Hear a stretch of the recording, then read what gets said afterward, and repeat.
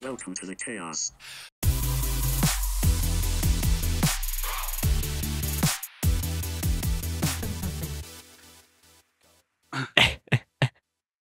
What's up, everybody, and welcome to the Chaos Check In, our mini series where we check in with some of our favorite guests from season one and catch up on what they're doing. Here on the Chaos today, we have our boy, DJ Damage. What up, brother? Yes, yes, sir. I'm loving the new set. Look at this. Yeah, what'd you think? Upgrade, What? upgrade, right? Yeah, man, I'm proud of you guys. Look at it. I love your face when you walked in. You were like, literally like, mouth Uh-huh. open, like, whoa. Yeah, okay. very, very professional. I see what you got going here. We're trying. We're trying. So since last time we seen you, bro, it was pandemic. There was a lot going on, and you've switched up. You got a lot going on now in the world. Tell us about it. Man, you know what? I wouldn't say there's a lot going on externally, but internally there's a lot going on. I think I was going through like a growth period. I don't know. It's it's called something. I don't know what it's called. It's like from the ages of like 27 to like 33. You're like shedding who you used to be and like the start of who you're becoming. So I feel like I'm fully going through that transition. So it feels good, man. I'm in a good space. It's a lot of relearning. Yeah. So, like, what, what have you had to relearn about yourself over this? Because I know you went vegan, which is something different than last time you were here. Oh yes, you know I got to change the diet. Trying to live, man. I'm trying to live. Um, I'm just thinking about my future a lot, and I think when I started, especially when I first moved here, but even before I moved here, I was always thinking about like one thing. My mind was just set on DJing and being the biggest DJ I can be, and being on television. And then once you do that, there's a period after that where it's like, but what do I really want from life? You know? And I felt like my goals then were great. And no one tells you what happens after you accomplish your goals. They're like, oh, make new goals. But what if you don't have goals in the same realm? You know, like what if you want to do something completely different? And I feel like that's the space I'm in now. Well, I mean, that's pretty cool, though. It's like you're relearning. I mean, not only are you relearning, but there's a whole lot of new things that you're jumping into and learning Mhm. about, which just, you know, uh, builds your stretch out. It's awesome. Yeah, I think one thing I always loved was being behind the scenes. And I kind of was, I wouldn't say I was forced into like the front of the camera, but even when I went to college, I loved to be on the camera. And they're like, oh, Abdul, you need to be able to be in front of the camera. So I think my life played out in the front of the camera a lot, which is great. And it was a great experience because I used to be super shy. But now I want to kind of dive back into what I love to do, which is being behind camera. So doing a lot more photography. I'm doing a lot more business from behind the scenes rather than being the face of it. And it feels good, man. Also, I think one big thing for me is um, you know, when you're chasing fame, quote unquote, and I was indirectly chasing fame because I wanted to be a big DJ. Um, I wasn't necessarily chasing wealth. And people don't tell you it's two different things. You could be the most famous person in the world and not have a cent in your pocket. So I think, you know, passing that 30 year old mark and thinking now heavily about my 40s and I'm in my early 30s, it's like, what kind of mark I want to leave on this world financially? So that's another big change for me. That's cool because uh, I'm, I'm glad that you're on this track because season one, we were all about our experiences in, in the Yeah. club scene and like the partying and the fun. And then season two, we kind of transitioned into a lot of this like self growth period and what people are Mhm. going through internally. So uh, I guess talk about where that financial, where, where did you find that, that that's fulfilling you now? I think what happened was um, when I first started DJing, I was 12 and I always been an entrepreneur. And as you, as a DJ, especially in those times, um, getting where you want to go, you start working for people. And I didn't even realize how much I got away from my entrepreneurship. So when you're not an entrepreneur, you're able to be fired. And you know, in the entertainment game, you're going to pick up gigs, you're going to lose gigs. That's just what it is. You know, that's very natural. But after a certain amount of time, it's like I don't want to be dependent on others for my income. And I always been good with saving money, but I never knew how to invest money. So I think like, you know, getting these gigs, losing these gigs back and forth, and always having a cushion, I would think like, what if I knew how to invest that money I saved? Because I always would just save a lot of money. And I think that's what took me down that like that financial road of like, all right, I always been good with money. I have good credit. What's the next step? How do I invest? How do I gain interest on my money? Like, what's those kind of avenues? And that's kind of like the journey I'm down now. Man, I wish somebody would have taught us that. I'm like, Yo, right? So, well, no, like that's what I was kind of get into. It's like in in your like you said in your twenties, like you we're kind of figuring out, and you get to your thirties, and everyone's like, oh, once you get to your thirties, you'll care much less. In my twenties, I'm like, I don't give a fuck as it is, but I'm like, oh. I understand what you're saying because, like, as we're growing up, you're learning that a lot of the things we were taught are very unnecessary. Yeah. So you're unlearning it and you're relearning the things. It's like, yeah, I would like. I went to school for so long and I don't use any of that shit. Mm-hmm. Like, how come nobody taught me how to open up a business? Nobody taught me how to start my fucking Roth IRA. Like, I had to learn all this shit. I've made a ton of fucking mistakes. mm-hmm. And like, I'm glad I did, but it's like, why weren't we taught all that? shit? So I go through that route a lot of just like, man, I get frustrated. I got to learn new things, but then I'm like, all right, it's probably for the best. But it's it's like you have that in the back of your head, like, what the did we learn growing up? What was the point of all of it? I, I don't know. And I think it just keeps you dependent on the system, keeps you dependent on taxes. But for me, like you said, your Roth IRA, um, I had a guy, he randomly just asked me, like, what are you gonna do like at the end of life? And I'm like, what do you mean? He's like, I mean, you're an entertainer. Do you you don't have like a 401k or anything like that? And I was like, nah, I didn't think about that. And he's and he personally helped me set up not just a Roth IRA, but like three other accounts for my son for like emergencies and putting these bonds. And when he did it, I just was going along with it. But now, like recently, like a few months ago, I actually went into those documents and read like, what am I investing in? And kind of because now I'm kind of like have that awareness. And I start digging more into it. And I'm like, oh, this is cool. Like I, I wanted to get into this now, but thank God I already made those steps before. But I kind of blindly did it because I just trusted the guy. But I think a lot of people should really like, you know, take some time to be more financially sound. Yeah, I think like everybody who's like quote unquote entrepreneur, but in the entertainment industry, we all have this grandiose concept of like, I'm gonna go to LA, I'm gonna mm. fucking make it, I'm Yeah. gonna make millions, I don't gotta worry about which is really not the fucking case in the slightest. No. Like you really have to like, 20 years later, you ain't got no savings account. bro, account. you ain't just like none. Man, like And the thing is, it's so expensive. Like, so for me, I saved a lot of money all the time. Like, I would save majority of my income. I always live be- below my means. My uh, professor said that in college. So that's like step one. But step two is actually investing the money because, as you know, with inflation, especially in LA, that you're running through that money quickly. Like, if you lose a job or you lose a gig and you saved up some money, okay, for like next four months, you might be okay. Then after that, you're like scratching your head. So it's kind of like, okay, yes, one is good to learn how to save money. How are you investing income? And you also got a you also got a son too, so Yeah. you got to think about him, his future. Not like I mean, we don't got to think about that. All my money goes to me and what I want to do, but Mhm. you like you have so many priorities besides yourself. Yeah, and I th- and I think for me, I had to start from like the ground floor. I didn't have anyone give me like a boost, or I didn't come into any type of money. And I'm like, I do not want that for my son. At the very least, I want to give him the knowledge of how to like invest his money. And investment is not always like stocks and bonds and everything, but I I totally applaud that. But learning how to invest in yourself, knowing like the right things to buy. Like, um, I remember when I lost I think it was around 2018, and that was like my first major layoff. And I looked around my apartment. I was like, but I have all the tools to make money. I had different types of cameras. I had all this equipment. I was like, thank God I at least invested in myself. So now I had no excuse to make content, to do shows, to do whatever I needed to do to get over the hump. And I was just so proud of myself because honestly, I didn't see that coming. But I was like, wow, the way I spend my money, I'm probably pretty proud of myself because I'm not buying just, you know, stupid things. You know, I bought sneakers and whatever, but a lot of it's equipment, I mean, hard I- assets. I think one of the things that like our generation really needs to focus on, especially teaching the younger generations, like our parents and nothing against them, they they did what they had to do. They were taught what they were taught, but they were that that in the boomer generation that was very much like go to school, get an education, go to college, get a union job, and go. And we're very much like, yo, there's something not right about this. And like, even like now in college, there's these influencer classes, and you have all these people like, nobody wants to work anymore. And it's like, no, that's that's not true. People don't want to work in 60, 70 hours, Mhm. breaking their ass in a nine to five, and then have no life. They want to be able to make quick money fast, which you have the ability to do nowadays. But it's just up to like our generation to really push that narrative and teach them how to do these things and open businesses and really take care of themselves, their mental health, everything, because that's what's going to change the world, not us doing it. I mean, not us doing it now, but us teaching everybody who can then carry that torch and do it. Absolutely. And I think, like you said, like um, our parents and our grandparents before us was the work harder generation. And we're lucky because we got some of that. And now we're in like a new phase of like work smarter. And let's just be honest, everybody's not made to run a business. Everybody's not made to be an entrepreneur.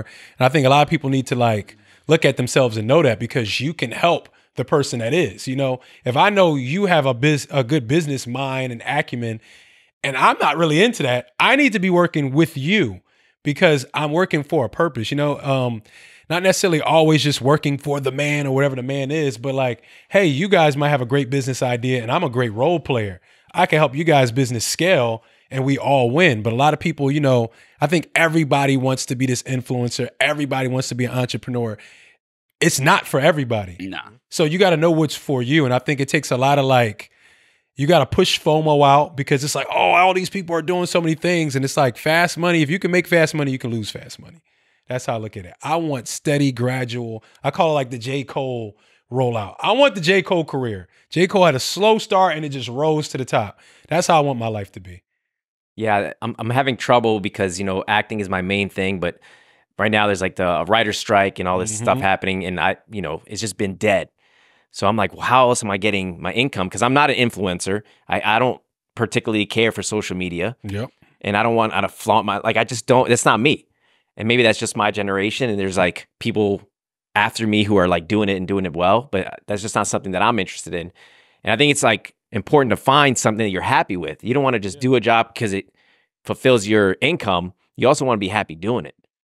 I think you got to find balance because you got to find a purpose, and purpose is what keeps everybody going. But Absolutely. sometimes your purpose isn't going to pay your bills. Right. So you got to find the proper balance in it. Mm-hmm.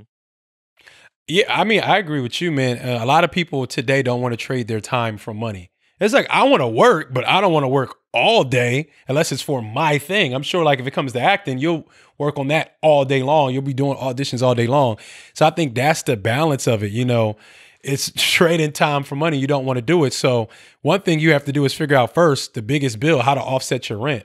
A lot of people are doing that with Airbnb. Some people tried it with Turo. I'm not. I don't. I always get real itchy about um car rentals because I feel like when people rent a car, they just treat it like crap. Right. But I I've seen a lot of people out here in LA, and it surprised me because I wish they would have told me find out ways to offset their rent. Like they're not making any income, but they're offsetting the rent. It's like I have this one asset that pays for my rent, and I can scramble and scratch up whatever else to survive. Yeah, that passive income. Like, Yeah. we- we had somebody on here who was selling like towels or some on Amazon. yeah, remember? dude. Like, yeah, it- there's so like there's so many ways to make money nowadays, and like, yo, YouTube University, like, you don't need to go to a fucking Ivy League school. You can go on YouTube and learn the same fucking. Shit. Like during uh, the pandemic, I took uh, the key uh, the key to being happy is one of the number one classes at Harvard. Yeah. and you could just take it online and they offered it for a free course during the pandemic. It's actually one of the coolest courses ever. Just like the difference between uh, happy people and non-happy people and some of the things that like bring you up and like focusing on. And a big part of it was like you need to focus on the enjoyment of your life. Life isn't work work work and then enjoy the fruits of your labor. It's like you got to enjoy life as it is. Enjoy the journey of it and the people in it. That's more important than what you're making. Ooh, that's the key. To try to enjoy the journey because the journey's hard, man. The, the road is a rough road. It's cobblestone. It's rocks in it. It's potholes. But you have to enjoy the ride. You know, it's like uh, one of those hay rides back in the day. yeah It's a hay ride. You bumping around and you're getting scratched up, but you gotta like find fun out of it. And that's speaking to you like finding your purpose. Like, what's your purpose? Because when you know your purpose, you might have to get a job on the side to support the purpose, but you're a little bit more happy to do it because you know what you want to do. And I feel like the sad part is a lot of people don't understand what their purpose is. And I think there need to be a lot, be a lot more like teachings on how to find your purpose, what drives you. Because if you don't have purpose, you don't have anything. No. I think a big part of that too is um, appreciating the lessons along the way Yeah. because there's so much you can like everyone's so afraid to fail but there is so much you can learn from failure Yeah, nobody wants to hear that, but that's that's like. But you know, I always say this too because um, when I go through like my hardest times, I hate it, and then I'm mad, and then I'm cursing, and I go, man, if this never happened, how naive I would have been to this world. You know, like if everything would have went right, and then ten years later everything went wrong, I don't know where I would be at. Nope. I'm glad to have. It's kind of like the stock market where it goes up, pulls back, goes up. I'm so grateful for those pullback moments because it gives you another moment to like learn what life really is. Life is not always going to be rainbows and stars. It's Nah. not always going to go your way. You know, things are going to happen, but always in those moments, even though I hate when those moments happen, I learned the biggest lesson in my life. Yeah, I mean, without the losses, you don't appreciate the wins as much. yeah If you never lose and are always winning, you're just like, it doesn't mean anything. No, but sometimes you be on a losing streak so long, like God, I Yeah, get it. yeah, yeah. I get it. No, I get, it. It's like help. the point. No, Yeah, dark cloud following you all over. no, you I go. promise, I get it. Like uh, I didn't need another one. Right, right, right. no more. I- I think the cool like the cool thing for me is I've been through enough failures, but I've grown enough that I can actually look back on everything and see how all the dots connect and why I had to learn that. And like, you know, I had some of the biggest breakdowns of my life doing this skydeck and hospitality. But I've learned so much. I've met so many people, and I've set all this up. And I, if I didn't, I would have never would have been able to pull all this off, or have the connects to pull it off, or actually just be able to sit here and open up as a person and a human being and talk about what the is going on in my life. hmm And for me, I think it pushed me out of my comfort zone. And I always been one to kind of like take risks, but like I'm kind of like down for anything. And I think that works to my benefit because I'm not a guy that's so in his ego where it's like, oh, I'm not doing that. I'll be like, I'll try that. And that has helped me meet different types of people, um, experience new things that I, I started to love, and just, you know, always push myself. I think life is always about pushing the boundaries. It's like if you're in this bubble, like pushing it just to make it a little bit bigger and bigger. And hopefully by the time you're at old age, you have such a big bubble full of knowledge and experiences, you can pass that on uh, to the next generation. For me, it'd be my son. Yeah, man, the, the comfort of like stepping outside the box. Like Will Smith has this quote. I mean, I don't know if we can be quoting Will Smith anymore. I love But- Will Smith. Um, Big Willie. I still do too. He does have some good knowledge. He does and have some good great book. But but his book was amazing. But one of his things that always sticks out to me is that the greatest things in life happen on the other side of fear. Yeah. So it's like once you step out of that comfort zone, yo, man, it's a whole new fing world out there. It's crazy. There's so much you can do, and like like we said, you don't have to have the regular nine to five job anymore. You can do and come up with and create whatever you want. you could. Like everybody has their own lane now. But you know what's scary about that? Um, because we say that to everybody and it doesn't work, right? And I'm not saying it's not possible, but it doesn't work because the first foundation you need to have is structure. If you're not a structured person, you're going nowhere fast. You're going five different directions at once. It's like if we all had a rope and we're pulling one person in the middle, it's this tug of war, right? And I think people really need to understand the importance of structure and discipline Time before you want to do anything. Time management. Time management, Yeah, but time that's management, part that's of structure, right? Yeah, but also morning routine. You know, even for people like some people only have a great routine in their workplace because they're forced to, right? And then when it's time to do, go on their own, they're waking up late, whenever they're drinking the night before, they're doing whatever that they wouldn't do when they go to their nine to five. So it's like, oh, you're only disciplined for someone else, but you're not disciplined for yourself. So self discipline is the first thing I tell everybody. Like you have to master yourself, which is hard because, like I said, people will wake up early, put in late hours for a job, and then when they work on their own, they're all over the place. It's like, what happened to the discipline? What happened to the structure? And it's like you're only structured when you're forced into it. That's not good. so uh, speak on your routine and your structure. What, what did you find that helps you? Well, for me, I was like, um, I read this magazine a long time ago, and it had like all these people that woke up at 5 a.m., all these millionaires, like from Kevin Hart to all these people. And I was like, cool. And then I dated this girl. She was like 22 years old. She worked for herself, and she woke up woke up every day at 5 a.m. and was done her day by 12 noon. And I was like, that is gangster, yo. That's the most gangster shit I've ever seen. And she was only 22, and I'm learning so much from her. And she was dedicated. She wake up, she write her notes, she does her calls, and I'm like blown away because I'm I'm taking myself like I'm a pretty structured dude now. Like, oh, I, I was blown away. So like years later, I, I remembered it and I was like, look, if I want to be a millionaire, I need to start living like a millionaire. And not like a millionaire that just came up like out of nowhere, you know, whatever, like some fluke. Somebody that worked their ass off to become a millionaire. So I said, the first thing is I'm going to wake up and I'm going to work out. I'm going to wake up at 5 a.m. And I think the first thing for me that I want to make sure is important is my health because I have a son. And I want to be willing and able and alive, uh, you know, throughout his life. So I'm like, fitness and health comes first. It has to come first in my life. So that's the first thing I do when I wake up. And then from there, I structure my day, whether it's business or if I'm learning something new. I take um from about 7:30 to noon to study if I'm if I want to learn some new skills. Like right now, I'm studying stock trading. I take all that time to just learn. And then after that, I just, you know, do whatever else I got to do, like run errands, grocery shop, X, Y, and Z, do everything else for the world. But I wanted to have four hours dedicated to my purpose and what I wanted to do every day. And I've been doing that for the past eight months. And what time do you go to sleep? Like how many hours of sleep do you try to get? Oh, I don't know. Sometimes I go to sleep 10, 11. And then I still DJ. So sometimes 2 a.m. And a lot of times I got to wake my ass up at five because what would I do if I was running a multi million dollar company? I'm like living in this fantasy world. If I'm running a multi million dollar company and I'm working at 2 a.m., I still get my, gotta get my ass up at 5 a.m. There's no excuses. And that doesn't happen every single time, but I try to run my motor like that. I f- with it. I wish I could. I I, I try, man. Like I do No, it. se- you can't. I do it selectively. yeah, No, you, You, can't. just have to. Yeah, you just Yeah. have to be like, "Yo, I'm doing this." when you get around that 11 a.m. time after you wake up at 5 and you've accomplished so much and your day is just starting, it's a different feeling, dude. Right. And I, I really, I don't, I don't think everybody needs to wake up at 5, but getting a lot of your work done and having that time to yourself, turn the phone off before everybody wakes up, and you you just feel so motivated. Where it's like it's 11 a.m. and I studied script or I read this book for two hours to myself. It just feels good. But um, it is a different class of people. Like you're you're done with your day, and everybody. There's a lot of people just starting it, and you feel like I'm, I one up everyone.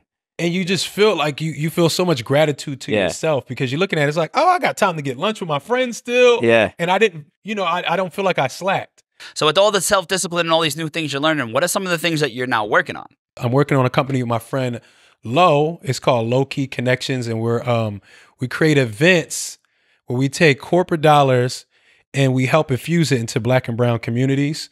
Um, so right now we're working with entrepreneurship and people with small businesses, also um, job readiness and um, another word for job readiness where people get work, you know, what all that you want to call it recruitment, X, Y, and Z. Um, so we're doing that. And that's a partner I worked with at iHeart Studios when I worked in radio. And we worked together and we came up with a lot of ca- uh, campaigns there. So we took a lot of our connections and we say, hey, we're going to start our own company and we're going to do it outside of this media conglomerate because a lot of the work we did, we came up with it on our own. We put these things on and, you know, iHeart was a big help, but they got a big piece of it and we did all the work. And it was like after a while, once you get your feet wet, it's like you got to make that jump and do it on your own. Um, and then of course I'm still DJing. I'm DJing twice a week. I have two residencies out here at LA. Um, so at the Continental Club each and every Wednesday and at Classic Cat in West Hollywood on Saturdays.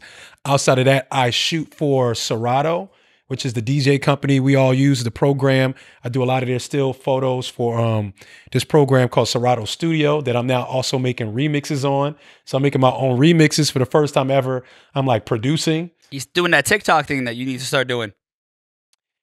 I'm trying. Look, it it takes a lot for me to do content these days because I've done content, but look, no, no, it's different because I've done content my whole life.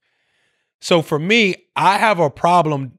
One, doing things other people do. That's one of my biggest problems. I if I see too many people do it, I will not do it. Like I will not do it. Like I wanted to like DJ live on Instagram, and I seen like too many DJs doing. it. I was like, I'm not doing it. Um, so that's one problem of mine. So this is me pushing out of my comfort zone. I'm seeing like people making remixes, and I was like, let me just try to go with the trend for once. I can't always been be the guy that's like, I'm going against See? the trend. Cause I, I start feeling like the old angry guy at that point where it's like, oh, everybody's doing that. I, Yeah. I don't want to be the old angry guy. right. Are you the old angry guy? I, I feel like I am nowadays with, with, with social media.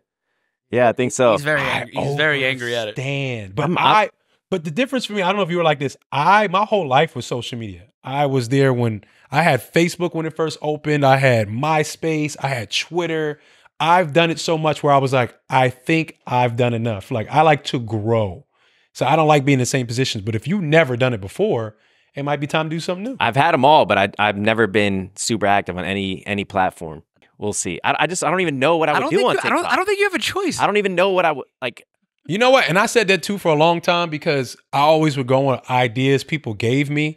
And I think you just got to dig in and be like, what do you want to tell the world, regardless if anybody was watching or not? Like Mikey likes to talk about mental health and everything. And I think if no one was watching, he would still have that passion to talk about. And I think that's how you got to do it with content where, like, okay, so what? It has no views. I'm proud of this content where if someone sees it, this is a great representation of me. And for me right now, my passion is like financial literacy. So I already know after a certain point, I'm probably going to be on Instagram and TikTok talking about things I found on my journey of financial literacy because I want it's something I want for everybody. So I think it's kind of like digging deep in. It's like, what is that thing about me? And it might not be something anybody even know about. Yeah, man. I, I, appreciate you because you've supported me in that aspect where like you've helped me film a couple of videos. Yeah. This man DJ'd my first event, which I was so grateful for and absolutely killed it. Playing all the R and B hits. It was fucking awesome. So, but damage, man, we really appreciate you coming Yes, back. thank you. Yeah. Can't Thank wait you. to see more of your uh, uh, of what's going on with the financial literacy. Can't Yes. wait. We'll keep you. We'll keep everybody in a loop. This was the chaos checking. Peace.